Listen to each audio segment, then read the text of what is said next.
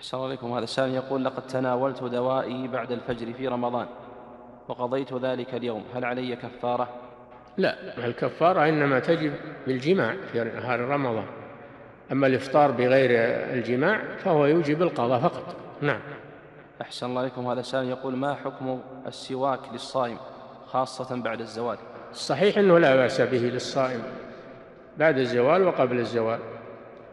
لأن النبي صلى الله عليه وسلم حث على السواك مطلقا ولم يحدد وأما حديث استاكوا بالغداة ولا تستاكوا بالعشي هذا لم يثبت عن النبي صلى الله عليه وسلم.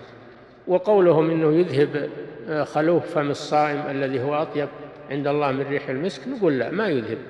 ما يذهب رائحة الصيام لأن رائحة الصيام ليست في الفم وإنما هي تخرج من المعدة عند خلوها من الطعام تخرج منها الروائح التي قد تكون مستكرهة من أثر الفراغ فراغ المعدة وهذا لا يذهبه السواك.